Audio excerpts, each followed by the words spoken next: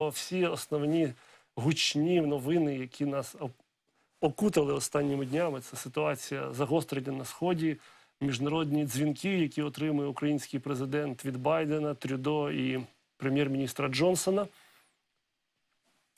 В смислі, Е, я просто ще чую в підслужку, тому я якби Ні, ну тут би я ще додав не лише дзвінки саме президенту, а те, що і передувало цьому. ну, звичайно. Сама, по суті, напевно, весь, весь апарат президента США зателефонував нашим а, урядовцям. Мені сказали, треба ще раз пояснити, що ми, значить, YouTube нас вже дивиться, так? І ми в YouTube е, маємо пояснити, що ми тепер запускаємо трошечки перед початком телевізійного ефіру і обговоримо з Олексієм Печієм питання загострення на наших східних кордонах, дзвінки президенту від Байдена, Трюдо і Джонсона, а також ситуацію пов'язану з поїздкою в Катар. Тут ціла чорна піар-кампанія розгорнулася на шпальтах українського інтернету, я б так сказав. Е, Ми зараз почнемо вже і телевізійну трансляцію. І з нами буде ще Іван Яковина, наша зірка онлайн, як, тому що він не ходить зараз нікуди, сидить вдома з огляду на карантин, коронавірус. Ну він не хворий, він просто не хоче заразити. Правильно робить, до речі, і всі так мають робити. Шукаєш омріяну квартиру? Запрошуємо на екскурсію оновленим маркетплейсом корпорації нерухомості Ріел. Тут ви знайдете всю інформацію про проекти. Маркетплейс квартир від Ріел. Digital прорив у пошуку нерухомості.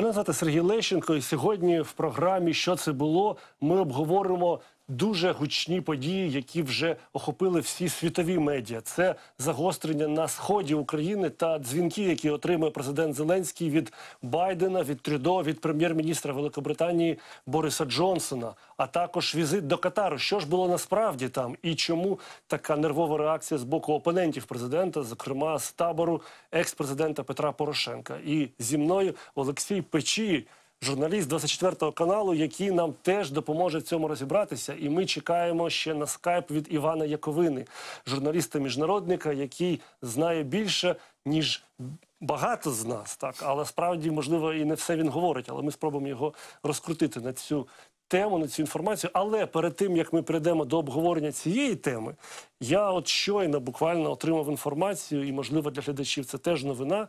Що Юрій Вітренко, який працював виконувачем обов'язків міністра енергетики, збирається йти з цієї посади. Він більше не працюватиме в уряді. Про це повідомляє багато різних джерел. Ну я скажу по секрету, я теж це чув ще минулого тижня, що Юрій Вітренко навіть вивіз речі зі свого кабінета, і це значить, що в нас знову вакансія в уряді, знову треба збирати голоси. А Юрій Вітренко, скажімо так, е, не спрацювався з урядовцем з одного боку, а з іншого боку, ситуація була для нього постійно в підвішеному стані. Він так і не став міністром без е, приставки виконувач обов'язків. Така ситуація. Щось чули? Ну, а, я чув, звісно, цю новину, але знаєш, що тут одразу там, напевно, хочеться розвіяти трошки міфи, тому що зараз, е, як ти вже сказав, е, будемо обговорювати тему поїздки президента до Катару. І зараз я вже побачив, от буквально там за кілька хвилин до початку ефіру. У соцмережах почали розганяти цю чергову зраду. Мовляв, Вітренко подав відставку якраз після візиту до Катару.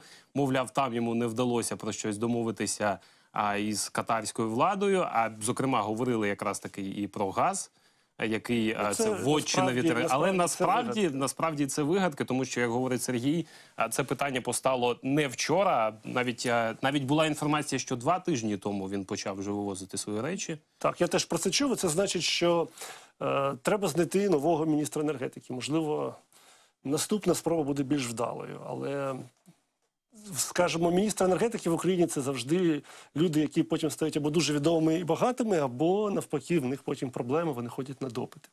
Ну але ми це будемо обговорювати вже в інших випусках, коли зрозуміємо, хто ж прийде за місце Юрія Вітренка. А зараз ми Подивимося на великий сюжет, який стосується якраз теми міжнародної активності навколо України. З східного кордону нас обступили гармати путінського режиму. А в телефонному режимі Зеленський веде переговори зі світовими лідерами. Отже, сюжет, а потім вертаємося в студію.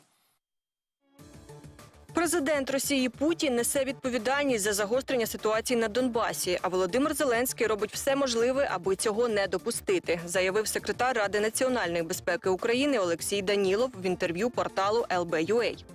Росія, як і раніше, порушувала режим тиші, проте нині всі процеси активізувалися з новою силою. Зеленський закликає посилити міжнародний тиск на Росію. У вівторок він обговорював загострення з прем'єр-міністром Канади Джастіном Трюдо, а напередодні із прем'єр-міністром Великобританії Борисом Джонсоном. Нагадаємо, наприкінці березня Руслан Хомчак повідомив про активне стягування російських військ до українських кордонів, в тому числі зі сторони окупованого Криму.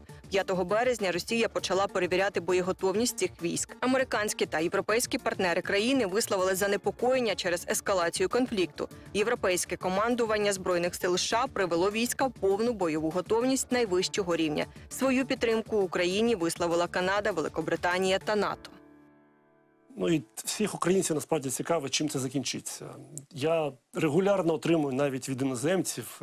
По секрету сьогодні зранку, коли в Америці був вечір, мені написав Майкл Макфол, колишній посол е, Америки в Росії і колишній радник президента Обама з питання міжнародної політики, який питає, що ж в Україні думають про це.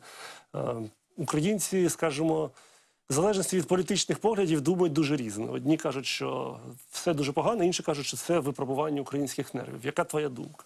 Насправді я думаю, що це випробування не лише українських нервів, а насправді Путін таким чином спробував, знаєш, так трошечки натиснути на Байдена і подивитися на його реакцію. Тому що ми пам'ятаємо, що Байден неодноразово казав, що він не залишить Україну.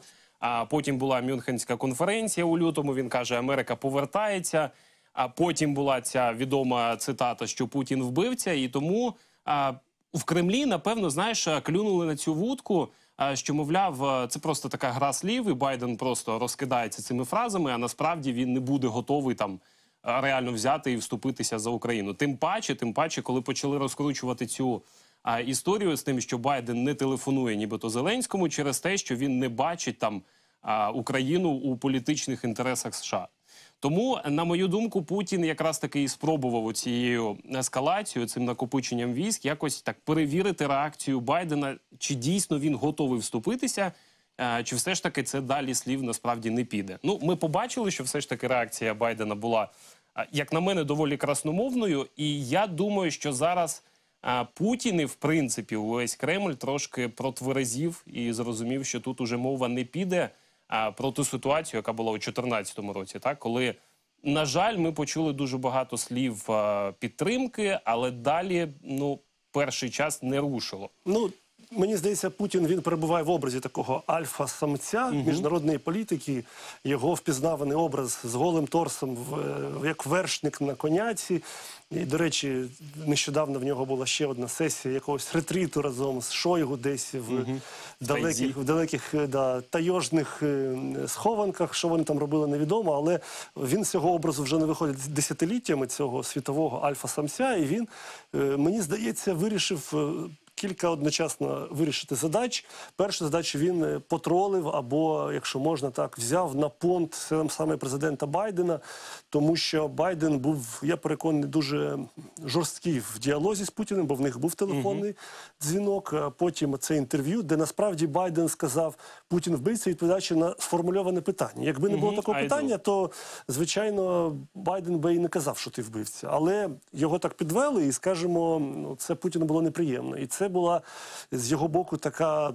Помста, відповідно, і перевірка, ну, як далеко готовий Байден піти, захищаючи цей периметр геополітичних інтересів Америки, зокрема українську, український кордон. Е, Третє, я думаю, він пам'ятає все-таки синдром Барака Обами. Барак Обама був президентом, коли відбулася анексія Криму, і реакція Америки була не такою, як ми очікували, скажімо, щонайменше. А насправді е, Обама сам по собі він же пацифіст. Він продукт вже пост. Холодної війни він е, з'явився в американському істеблішменті, коли не було цього очікування удару в спину від імперії зла у вигляді там башен Кремля. Він е, розвивався вже коли був Єльцин при владі, і він завжди знаходив спільну мову з Клінтонами, там з Бушами. Е, Він був такий от, е, вихований в іншій культурі. Тому, коли напали на Україну, Обама, на жаль, був єдиний фактично в адміністрації, але найбільш впливовий і, звичайно, найбільш посадовий, хто наклав вето на будь-яку військову допомогу Україні. Ну, і то- зараз Байден він може або бути продовженням е, політики Обами, або бути навпаки іншим. І от мені здається, Путін просто хотів це зрозуміти. Ну я думаю, що він буде навпаки іншим, тому що якщо згадувати знову ж таки а, часи а, 14-го року, і коли б- 15-го вже навіть коли Байден в адміністрації Обами навпаки закликав давайте надавати озброєння Україні. Це ж саме Байден лобіював цю ідею, і лише Обама її якось зупиняв. З приводу цього образу альфа-самця, як ти кажеш, е, Путіна, мені здається, що це просто був величезний удар по цьому альфа-самцю. Коли, по-перше, Байден називає його вбивцею, окей, він там відповідаючи на питання, так сказав. А далі що було? Далі Путін давайте каже, вийдемо на дебати. А Байден просто не відповідає, каже: мені ніколи так говорити з із вбивцею. По суті, так він каже це. А дивимося далі. Далі, по суті, зараз стратегія Байдена така, якою я її бачу. А, знаєш, не про не прибрати Путіна як президента Російської Федерації, а на початках просто прибрати його із геополітичної мапи світу. Просто максимально у, мінімізувати його вплив взагалі на зовнішній світ. Маргіналізувати. Маргіналізувати так. Потім ми бачимо е, ситуацію з Китаєм, коли той же Лавров їде на зустріч у Пекін із міністром закордонних справ е, Китаю Вань І. І каже: давайте відмовимося від долара, давайте відмовимося від СВІФТу, тому що от Америка зараз буде а, тиснути і на Китай, і на нас. Давайте ставати союзниками. Але Лавров, напевно, забув про один історичний факт: Китай ніколи ні з ким союзи не, не влаштовує. Так, за якісь взаємовигідні відносини можна, а союзи точно ні. Ну і ми побачили ту реакцію, коли Китай сказав, що по суті від долара відмовлятися не будемо. І я розумію, чому товарообіг Росії з США річний там скільки на рівні 24 мільярдів доларів, а товарообіг Китаю та США на рік близько 600 мільярдів доларів. Ну зрозуміло, що Китай у цій ситуації точно не піде поряд з Росією. Йдемо далі з приводу СВІФТу. Так само Лавров там закинув цю ідею. Давайте відмовлятися. І буквально через кілька днів Китай по суті робить таку невеличку інвестицію у SWIFT.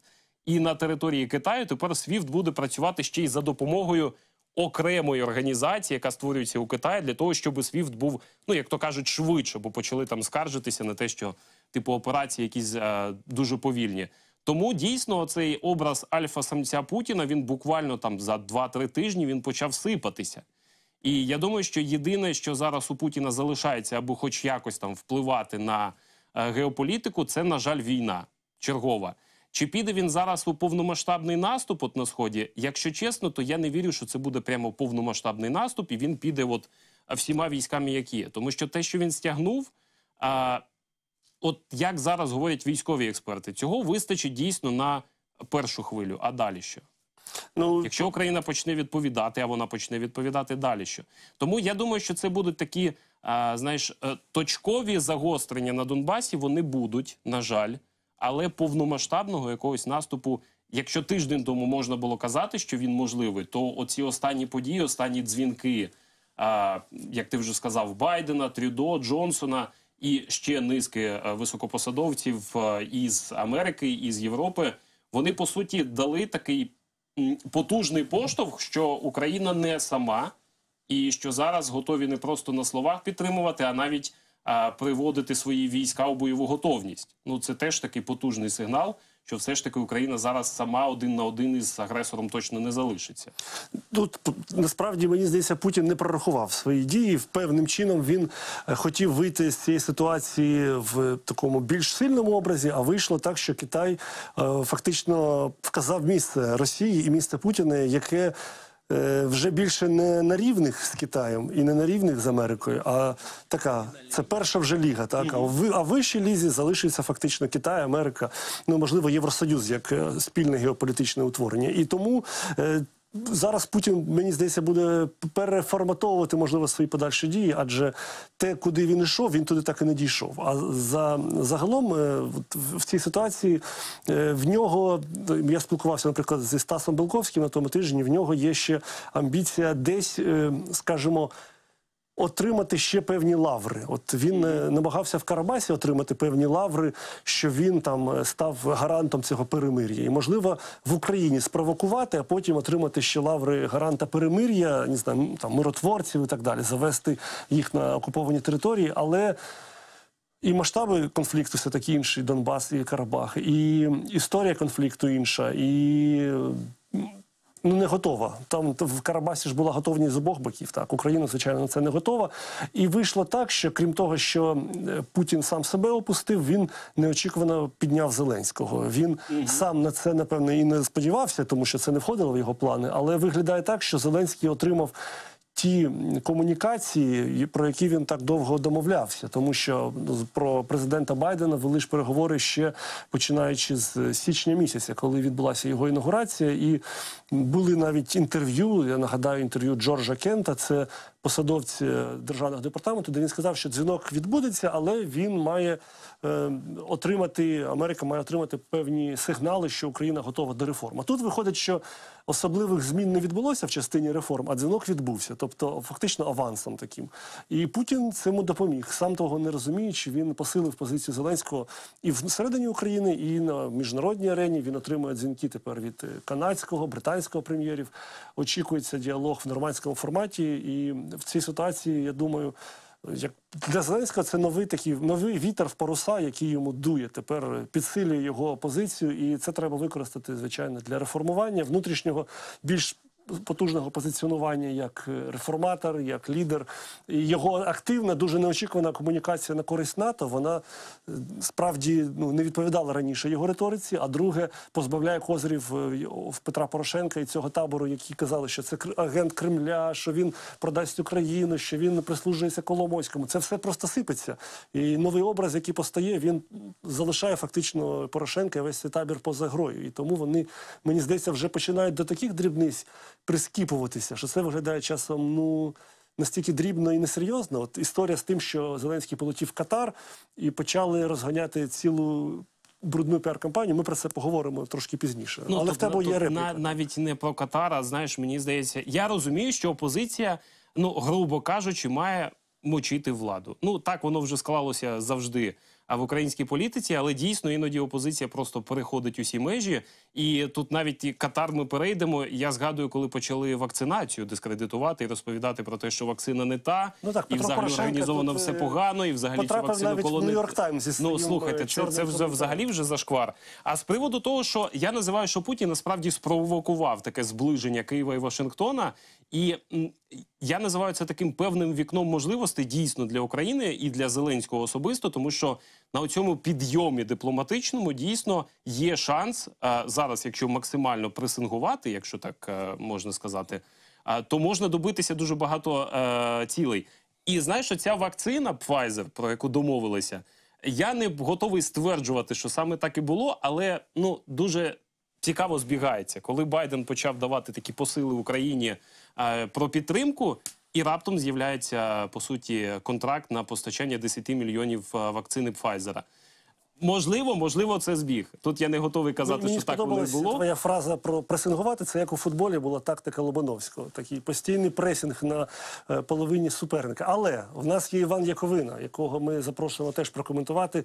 Іване, привіт! Радий тебе чути. Якщо ти нас бачиш, то радий тебе навіть помахати. Бачу, рукою. що Вітаю. Доброго Іване, вечора. що ж відбулося? Чому, чому Путін пішов на загострення, і що буде він робити далі?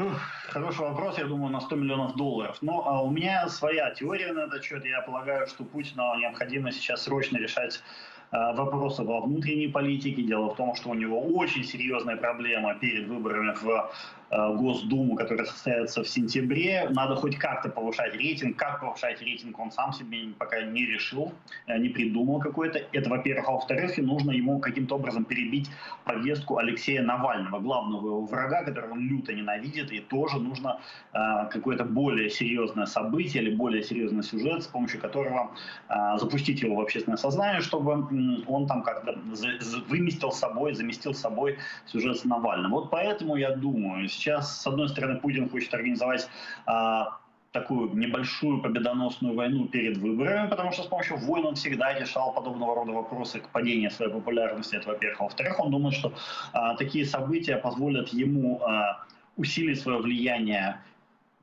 перед странами Запада, и, э, э, самое главное, они позволят ему э, вытеснить из общественного сознания вот эту повестку с Навальным. Я думаю, тут, как бы сказать, триединая такая цель. Именно для этого он и запустил всю эту историю с э, наращиванием войск у украинских границ. То есть э, Украине не стоит ожидать, скажем, там, прорыва границы, ввода войск уже на самой оккупированной территории, возможно, даже э, расширения да, присутствия российских войск уже внутри украинской территории.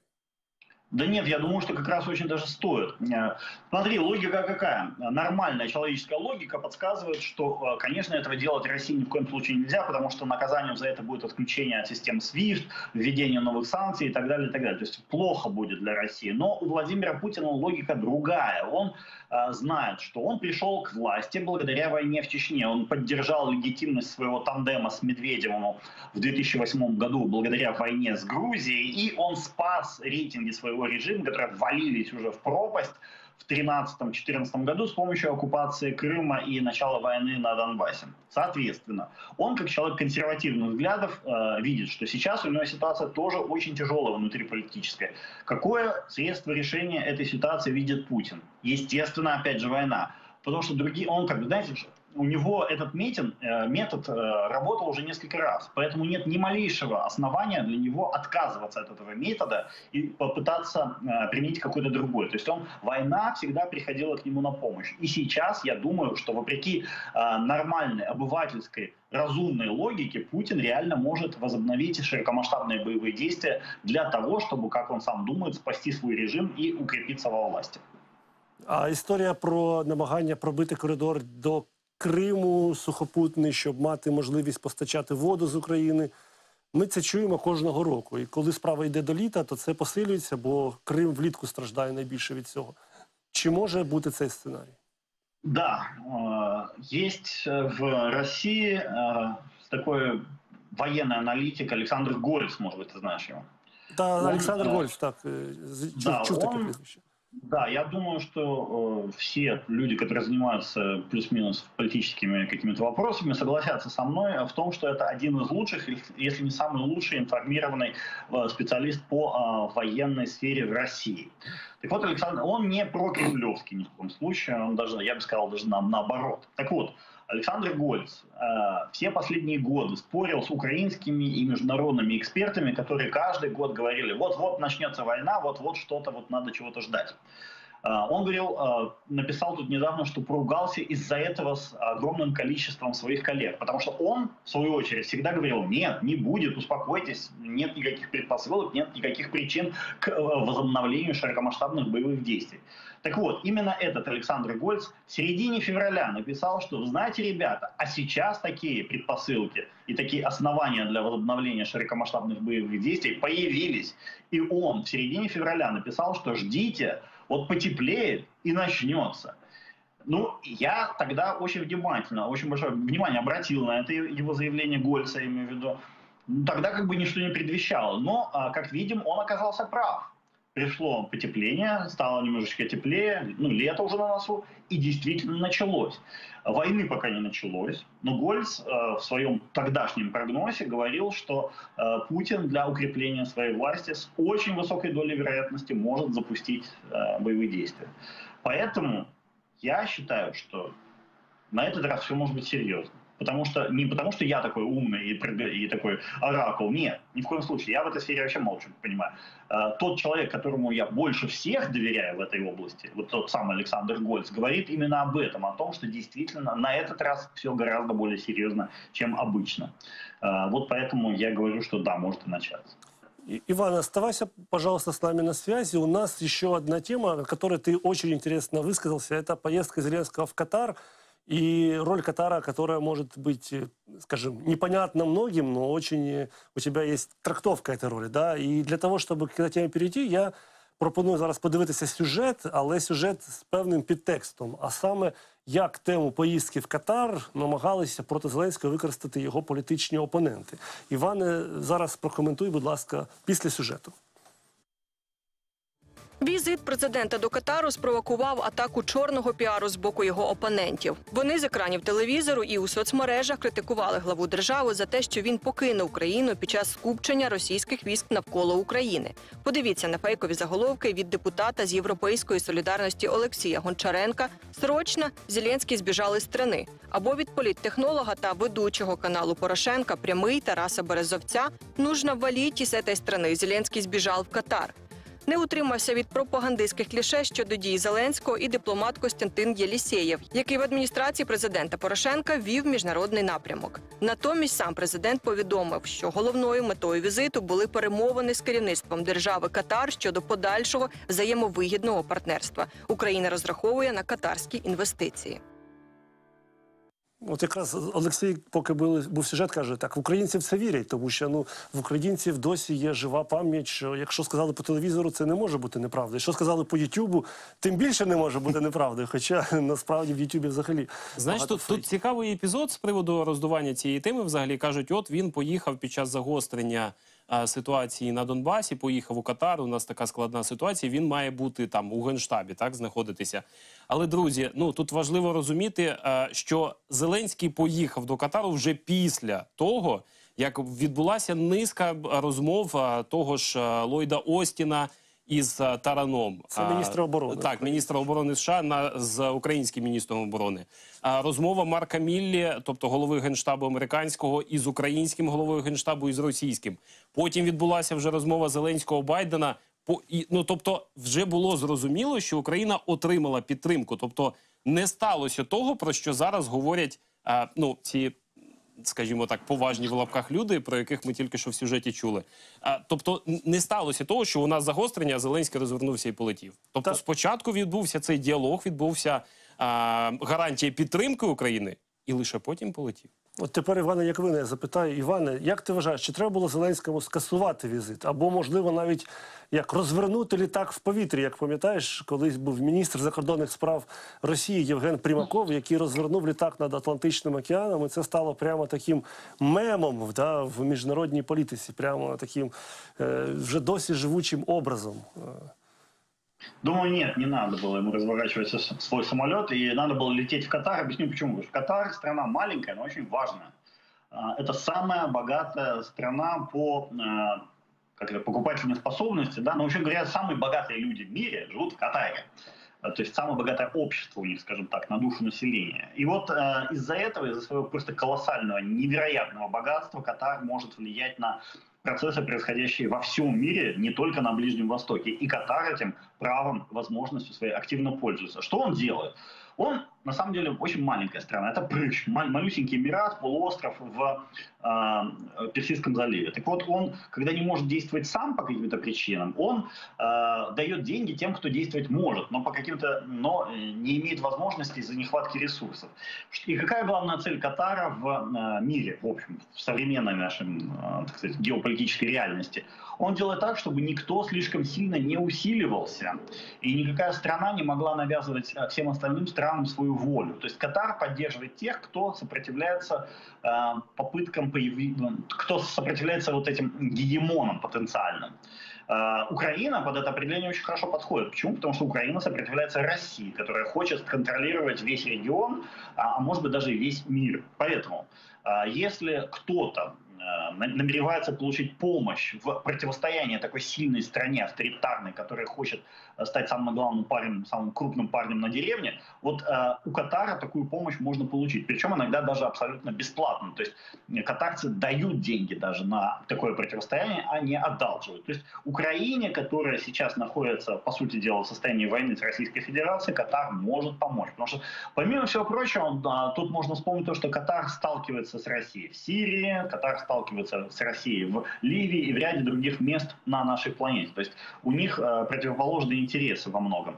Э, Поэтому я думаю, что если Зеленский хотел получить денег или ресурсов каких-то на противостояние с Российской Федерацией, то Катар это очень правильное место для того, чтобы поехать и э, заручиться там хотя бы финансовой поддержкой. А может быть и политической, и идеологической, и даже э, агитационной, потому что э, телеканал Аль-Джазира, который пользуется очень существенным влиянием в арабском мире, а и Аль- Аль-Джазира English во всем остальном мире, они очень-очень влиятельны. И с их помощью можно а, при желании, конечно, если они будут, так сказать, благоприятно для Украины освещать украинскую повестку, то это будет большим и полезным делом, достижением для Украины вообще во всем мире глобально, а не только, скажем, там на Ближнем Востоке. То есть, в принципе, Катар это то самое такое маленькое, очень незаметное, но очень влиятельное государство, которое могло бы э, сейчас здорово-здорово помочь Украине. И я надеюсь, что Зеленский там о чем-то договорил. Я не знаю, о чем он там договорился в финале, но а, по идее он мог бы, если бы постарался, договориться о очень серьезной поддержки Украине в ее противостоянии с Российской Федерацией. Іване, залишайся на зв'язку. Друзі, які нас дивляться в інтернеті на youtube каналі 24 каналу, ви можете ставити запитання в чаті, і ми їх е, будемо на них відповідати і в телевізійному, і в онлайн ефірі. Але Іване, до тебе є запитання. Е, Ми обговорювали в першій частині, поки шукали тебе вийти з тобою на зв'язок. е, Значить, питання у нас було про роль американського президента. І в нас е, було запитання в одного з глядачів щодо того, чому попередній американський президент ну, е, Дональд Трамп, чому, е, скажімо так, він допомагав Україні, попри те, що його називали ставлеником Росії. Тому що ну, цей імідж за Трампом закріпився на багато років, що його підтримувала Росія, він е, агент російського впливу. Але, будучи президентом, якраз Трамп був достатньо лояльним в той частині, що він Україні постачав озброєння, Україна могла отримувати гроші в Міжнародного валютного фонду. Ну і от, е, зокрема, глядач Геннадій Масалітіний запитав, чому Путін не міг надавити на попереднього президента США? Ти, як А, трамполог, маєш відповісти. Я не уверен, что э, зритель уважаемый прав. Дело в том, что, например, в декабре 2019 года в Сенате США был зарегистрирован законопроект о введении так называемых адских санкций против Владимира Путина. Кто был тем человеком, который спас Путина от введения этих санкций? Естественно, Дональд Трамп. Он в самый разгар своего собственного импичмента потребовал от сенаторов чтобы они убрали из повестки дня обсуждение этого законопроекта о фактическом уничтожении российской экономики и прекращении власти Владимира Путина. Кроме того, если вы помните, именно Дональд Трамп говорил, что Крым должен быть в составе России, потому что местное население поддерживает Россию. И именно Дональд Трамп был тем человеком, который постоянно э, мешал реорганизации, то есть не реорганизация, а усилению НАТО и возможностей НАТО в Восточной Европе. То есть, э, честно говоря, я не совсем пон- понимаю, о чем говорит наш зритель, когда говорит, что Трамп э, помогал Украине. Да. Я не очень пож- Про Джавели, Джавелины вообще это была орга- поставка организована Конгрессом, а Мгм. не президентом. Это э, не, не трамповская заслуга эти Джавелины. От Тем я более якраз, э, Джавелины, если вы не в курсе, они ни разу не применялись. я якраз і хотів зробити репліку з приводу того, що ці ж рішення все-таки ухвалював не Дональд Трамп, а саме Когне- Конгрес. І саме те, через те, що у нас там була двохпартійна підтримка, ми і отримували ту допомогу і те от озброєння, про а, яке говорить дописувач, саме через те, що ці рішення ухвалювалися у Конгресі, а не Трампом. Так, я хочу з Тобто вами такий компроміс. Так, і з Іваном хочу попрощатися. Дякую, Іване, що ти долучився. Будь ласка, не хворій, будь в доброму гуморі, підтримуй Україну. На все добре. Спасибо, удачи, всего доброго. Так, а ми з тобою маємо відповісти на інше питання, яке нам поставив глядач Роман Нікіфарук. Дуже цікаве політичне питання. Чи не розумніше для справи піти на зближення команди Зеленського, Порошенка і голосу? Адже ідеологічно немає великої різниці між цими трьома силами. А, я думаю, що це питання стоїть гостро ще, напевно, з першого дня президентства Зеленського. І, в принципі, можна було би об'єднатися, але я не певен, що взагалі-то команда Порошенка і голосу готова йти на якийсь компроміс. Хоча голос, голос можливо, готовий на якийсь піти компроміс і об'єднатися в якихось питаннях. Команда Порошенко на це точно не піде. Ну тут інше навіть Тому, звісно, це доречно, доречно, адже консолідація сил і а, робота всього, в принципі, там парламенту, офісу президента, уряду а, заради блага України. Ну тобто, коли всі об'єдналися і працюють на одну мету, звісно, це добре. Але я не думаю, що команда Порошенка буде об'єднуватися із Зеленським. Тут навіть я скажу, ситуація може розколоти голос ще більше, тому що в партії голос на сьогоднішній день перебуває в напіврозколотому стані, десь 50 на 50 фракція. І е, з одного боку є люди, які настроєні радикально проти Зеленського і переходять таку достатньо вуличну протестну е, порядок денний, е, пікетують офіс президента, беруть участь в акціях на підтримку Стерненка, на підтримку судової реформи. В чомусь вони навіть там виправдовують. е, Те, що ми називаємо там е, штурм офісу президента або е, графіті на стінах офісу президента. Ну, в будь-якому разі, оцю активність. Так. А з іншого боку, є друга група, яку називають там прагматики, так, які кажуть, що ми політична сила, ми маємо впливати на порядок денний. Чим більше ми переходимо в радикалізм, в таку неприйняття, то ми стає розчиняємося просто в, в Порошенку, як рафінат в чай. І на- нас взагалі непомітно. І тому в певний момент от, е, з'явилася інформація, що можливо ця група голосу веде переговори про вступ в коаліцію. І зразу інша частина голосу скаже: в жодному разі ми нікуди ніколи не підемо на це. А, і тому е, педалювання цього може якраз голос розколоти. А з іншого боку, для Порошенка вступ в коаліцію він неможливий, тому що для нього це позбавляє його ідентичності. Адже Абсолютно. він себе продає виборцю як прихильник е, тотального антизеленського порядку Олексій денного. Гончаренко більше не зможе робити такі відосики, як от зараз з приводу а, польоту Зеленського в, а, в Катар. Знаєш, я отут хотів ще одну дуже важливу деталь, як на мене, з приводу а, поїздки до Катару, яку чомусь так поминули увагу. І я думаю, що не заслужено, тому що це тема на таку далеку перспективу. А, у Катарі, окрім усього, говорили якраз таки про скрі, е, зріджений газ Так, скраплений газ. скраплений газ. І отут мені одразу згадався початок 2020 року, коли е, почалася ця коронавірусна криза. І Катар, хто не знає, він якраз таки поставляв дуже величезну кількість е, скрапленого газу у країни Азії. І коли стало зрозуміло, що настала криза, і ці об'єми, е, які готові купляти е, країни у Катару, вони зменшилися. Катар спробував зайти ще й на європейський ринок більше. Зараз він лише там постачає, у, якщо не помиляюся, у Польщу цей скраплений газ, і він хотів ще масштабніше зайти на європейський ринок, але постало питання в тому, що це не зовсім економічно доцільно е, через те, що дуже багато грошей витрачається саме на доставку.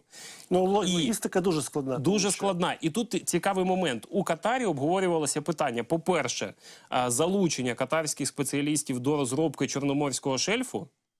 Шукати там газ, перше. А друге, долучити катарських спеціалістів до все ж таки побудови цього NLG терміналу, тобто е, терміналу, який регазифікує цей газ із скрапленого, в принципі, у, трубопровід відправляє. і Далі він там е, транспортується так до Європи. Цей термінал обговорювали, якщо не помиляюся, ще за часів пізнього Ющенка. Ну, так? Це дуже Планували, дуже, дуже планували, дешево, планували, планували, і ця історія закінчилася. Зараз знову це питання, питання піднялося. Катар зараз намагається вийти на лідируючі позиції із постачання цього скрапленого газу. Тому ця історія із залученням катарців до, по-перше, розробки Чорноморського шельфу, а по-друге, до створення цього NLG терміналу, вона, звісно, виглядає на таку довгу перспективу, але як на мене, вона доволі реалістична. І від цього виграємо і ми, і виграють і катарці, тому що вони а, отримують ну такі собі ворота в Європу. Як можна цей скраплений газ не лише в Україну постачати, а у майбутньому ще й переправляти його далі до Європи. І тим паче, коли зараз Німеччина е, вагається, чи добудовувати її північний потік 2 чи не добудовувати, оце питання газу катарського в Україні, як на мене, воно доволі нагальне. Тому не варто чекати. От знаєш, зараз говорять про те, що ну слухайте, Зеленський літав до Дубаю і також обіцяв інвестиції. То де вони? Ну вони ж не робляться за один день і там чи за один місяць. Тому я би такі візити все ж таки розглядав би на таку довгу перспективу співробітництва із Ну, країнами е, близького сходу. Я б тут трохи скепсису додав, тому що я особисто бачив на власні очі термінал в Клайпеді в Литві, який називається Independence. Це такий, це не, не- корабель навіть, це фактично такий завод, який стоїть на а, платформі корабля. Величезний багатомільярдний проєкт і. Запускати такі проекти це треба мати гарантовані ринки збуту на десятиліття наперед. Е, Свого часу друзі Дональда Трампа якраз намагалися теж зайти е, в український газовий ринок, і в них є можливість брати скраплений газ в Америці, але щоб його тут е, продавати, треба ці термінали мати, і це можливо вкласти ці гроші, якщо ти на десятиліття наперед маєш гарантовані ринки збуту, і українського ринку збуту може бути, наприклад, недостатньо. Це треба, щоб був Ну, частина європейського ринку. Так, щоб європейський ринок завоювати, це достатньо, достатньо такий проблемний процес. І тут ми маємо якраз лобі, правдиво сказано тобою, російське, яке намагається через північний поток підсадити Європу ще глибше на російську голку залежності від Росії, від їхнього природного газу. І це е, робить е, можливість побудови такого терміналу ще менш вірогідною. Але ніколи не, не зайвим про це вести переговори. Можливо, все-таки е, кон'юнктура в світі міняється, і з огляду на цю поведінку Росії, як геополітичного такого монстра і альфа-самця, все таки Європа буде відмовлятися від цього. А в нас ще залишається одна тема, яку б я хотів сьогодні обговорити. Це тема вже пов'язана з внутрішньою політикою, але вона важлива, щоб глядач розумів, наскільки Україна потребує реформ, з іншого боку, наскільки ми просунулись в цих реформах. Йдеться про е, справу щодо брата е, Павла Вовка. Це одіозний керівник окружного суду Києва, адміністративного суду, в якому оскаржуються акти влади. І Павло Вовк вже став символом такої. Купленого правосуддя він навіть на своїх відомих записах сказав, що ми проститутки, тому не соромиться питання. цього. Так а виявляється, тепер в гру ще вступив його брат. Його вчора набу затримало на отриманні хабаря 100 тисяч доларів для Павла Вовка.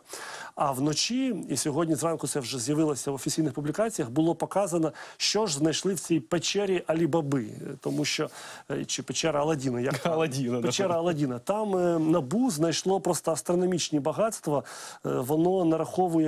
Там, Сумарно це 5 мільйонів доларів. Ну якщо розбити по валюті, то це 3,7 мільйона доларів. мільйона доларів, 840 тисяч євро, 20 тисяч фунтів, 230 тисяч гривень і 100 ізраїльських шекелей. Це всіх е, повеселило, тому що чомусь це окремо 100 ізраїльських е, грошових одиниць теж було.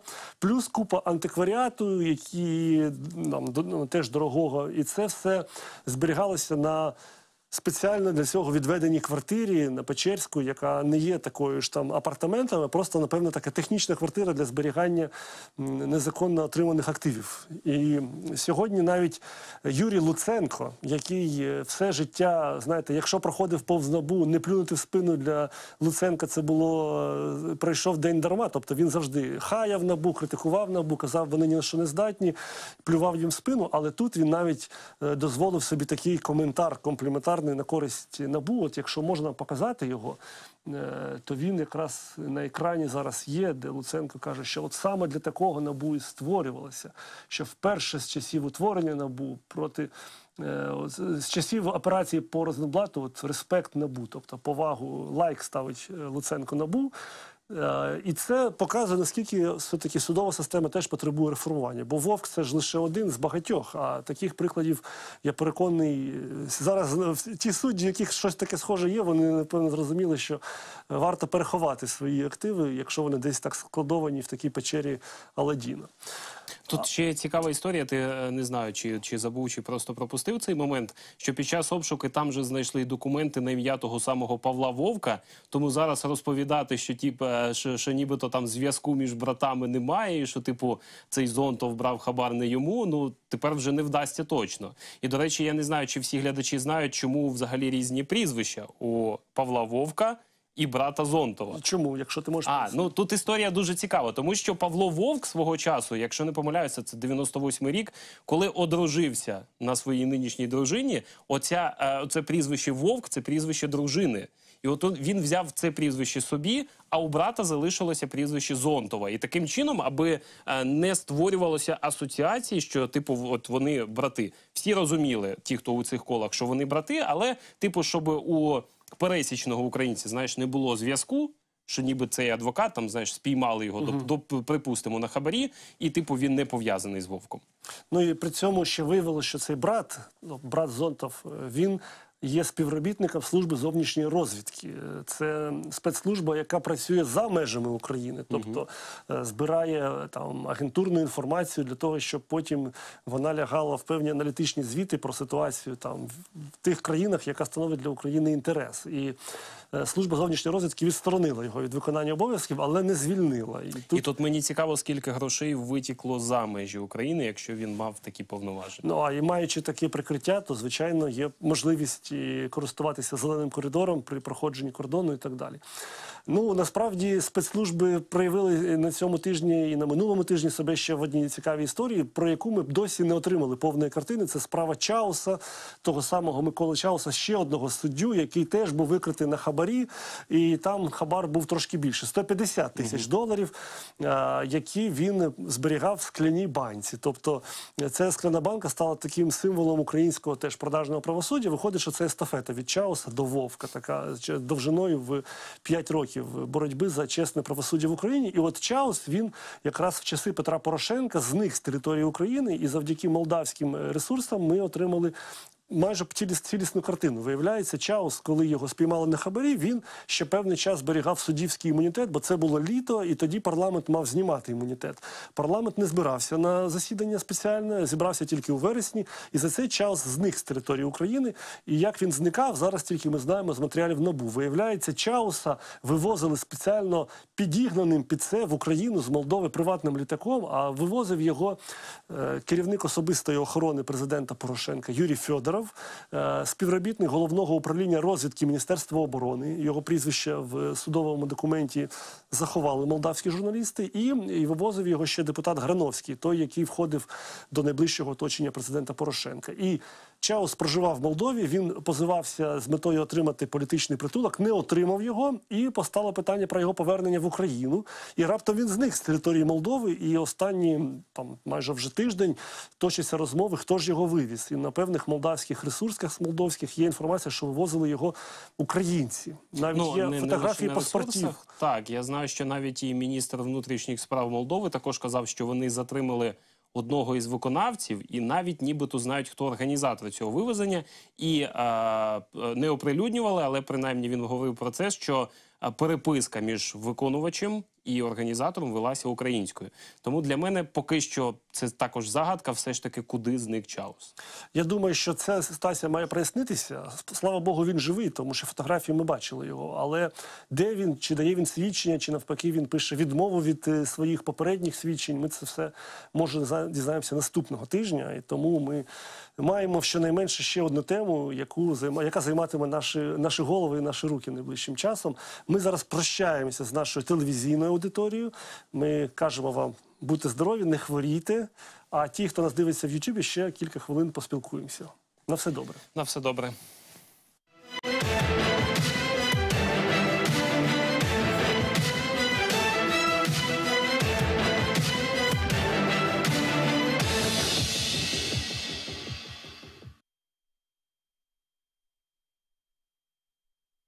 Це на youtube трансляцію, і в нас лишилося ще декілька хвилин, щоб е, відповісти на деякі питання наших глядачів, які не були такими аж активними, але дивилися активно, але запитання ставили не так активно. На майбутнє це має бути гарною, гарною нагодою, е, щоб е, нею скористатися і поставити запитання. Значить, серед глядачів цікавили такі речі. Так, так, так. Я подивлюся краще в чат. Е, Ну, було питання, що Росія не пускає катарський газ до Європи, венесуельську нафту приватизувала, тому саме з такими країнами, як Катар, і треба створювати союзи. Пише нам Ігор Квітко, такий глядач. Це не питання, це репліка, але ну, фактично ти цю репліку і розвинув в своїй відповіді про те, що катарський газ міг би бути непоганою альтернативою. Хоча Україна за документами і не купує російський газ. Ми купуємо газ на європейському хабі, походження якого не є е, встановленим, ідентифікованим, важливим, тому що це є унікальний товар. Ну, в тому молекула числі газу, це може бути одна. той самий катарський газ, який заходить до терміналів Польщі. Ну, так. Тому цілком ймовірно. А знову ж таки, це на довгу перспективу. Те, те, про що я кажу, це не відбудеться завтра, це не відбудеться там через півроку початок. Зрозуміло, що ці перемовини мають довго тривати. Як сказав Сергій, на це дійсно потрібно дуже багато грошей і дуже потужне лобі на європейському континенті. От, Користувач Dear Kind пише нам, що Берлін заявив, що питання вступу України в НАТО зараз не на часі. Скажіть, скільки треба часу для процедури вступу, але в мене до тебе питання. Я може щось пропустив, але я не бачив заяви Берліну. Була така заява? Ну я також не бачив цю заяву, але знаєш, е, я в, в телевізійному ефірі про це напевно не встиг сказати. Зараз варто звернути увагу взагалі на поведінку Німеччини е, та Франції з одної простої причини, тому що і в Німеччині, і у Франції по суті на носі вибори. Еммануеля Макрона очікують наступного року президентські вибори. У а, пані Меркель, якщо не помиляюся, от вже восени Так. будуть вибори. І її оцей а, протеже Армін Лашет він не може зараз похвалитися великою підтримкою. Ба більше а, партія Меркель, ця християнсько-демократичний союз. Також не може похвалитися великими рейтингами до проходу у Бундестаг. Їх зараз Ні, ну, вони в Зеленський. пройдуть, звичайно. Вони але- звісно вони пройдуть, але їх зараз е, обганяє та ж сама партія зелених. Ну, це унікальна ситуація. Тому, коли- тому я думаю, що зараз ці дві країни вони будуть зосереджені на своїх внутрішніх питаннях в першу чергу. Але варто звернути увагу на зараз е, той е, зв'язок, який встановлюється між е, Сполученими Штатами Америки і Великою Британією. І ми зараз бачимо, що навіть той пакет, оцей, як його правильно називали, я вже напевно не згадаю. Але пакет, який санкції проти олігархів російських, який обговорюється у США, він буде синхронно вводитися із Великою Британією. Тобто Велика Британія зараз і США ведуть таку синхронну діяльність. І якщо ми подивимося на Велику Британію ну, з призми України, то ми бачимо, що зараз, по-перше, минулого року у жовтні Зеленський підписав так декларацію про те, що буде відбуватися розбудова українських військово-морських сил спільно із британцями. Британці в свою чергу кажуть про те, що ми тепер не пропустимо жодного військового навчання, яке буде проходити за участі українських військових. Тому я би зараз все таки звертав увагу на оцей альянс. І я дивлюся, що зараз е, США і ну зокрема Байден, коли він на Мюнхенській конференції говорив, що Америка повертається, так от вона повертається. І зараз саме Байден е, принаймні декларує і намагається це робити, взяти питання встановлення миру в Україні саме під власний контроль і стати ключовою фігурою, яка е, може врегулювати цю ситуацію. Ну, загалом ситуація на європейському континенті цього року буде дуже цікавою, саме з огляду от на ці два двоє виборів. Ну, в першу чергу, німецькі вибори, бо французька кампанія тільки розкручуватися. А от в Німеччині вже голосування в вересні має бути. І унікальна ситуація в тому, що вперше в історії партія зелених може стати партією лідером, Так. яка претендуватиме на канцлера, на е, те, що їхній зелений буде канцлером Німеччини. Досі їхні досягнення був віце-канцлер Йошка Фішер, тере міністр закордонних справ в уряді якраз е, Шредера. Ну насправді ми виграємо від цього. Якщо А зел- зелені є дуже friendly, дуже дружніми до України. Тому що не дай Боже, коли Армін Лашет стане канцлером. так, Оце і- ж той ще, е, як у Німеччині кажуть, Путін Versteher, тобто людина, яка Розуміє. дуже розуміє Путіна і яка на його боці. Тому А от а в зелених до України дуже лояльне ставлення, і вони навіть є дуже активними опонентами Північного потоку. 2 Угу. в, в- скажімо так, я спілкувався з німцями на минулому тижні. От їхня позиція така, що зелені 100% будуть в коаліції, але з ким? І на якій позиції це ще питання. Вони можуть бути канцлером, і тоді вони, наприклад, в партнерстві, якщо вони обженуть християнсько-демократичний союз, вони будуть з ними. Вони можуть бути в коаліції з соціал-демократами і з лібералами, якщо вистачить їх голосів. А, Якщо в, в цьому форматі, тоді в зелених може бути теж е, позиція прем'єр-міністра, тобто канцлера. І це значить, що е, цей такий антагонізм щодо України з боку німецького, істеблішменту може похитнутися, тому що ну, все-таки міняється покоління, і оце покоління розбещених російськими грошима цих класичних партій. З одного боку, це Християнсько-демократичний союз, Християнсько-соціальний союз Баварський, там теж Ну, багато там, німецьких ще більше да, російських- російських там. З іншого боку, Шредер і його це е, спадок, е, який він залишив проросійський в соціал-демократичній партії. Ці, це покоління може піти, але з іншого боку піджимають два фланги крайні лівих, крайні правих, які сидять теж на російських грошах. Тому е, ситуація може трошки покращитись для України внаслідок цих німецьких виборів. А я нагадаю, що саме Меркель наклала вето на отримання Україною плану дій по здобуттю членства у 2008 році, коли Україна на це активно претендувала. Ну, зрештою, я пропоную на цьому закінчувати, бо ми трошки поспілкувалися. Запитання надходять, але і наш ефір теж має закінчуватися. Так, тому ми прощаємося з нашим Ютубом і теж бажаємо всім бути здоровими. Гарного вечора. На все добре, до побачення.